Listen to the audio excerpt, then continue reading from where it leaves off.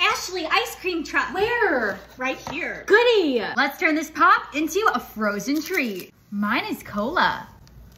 Water to make it creamy. This is gonna be ice cream. Time to freeze.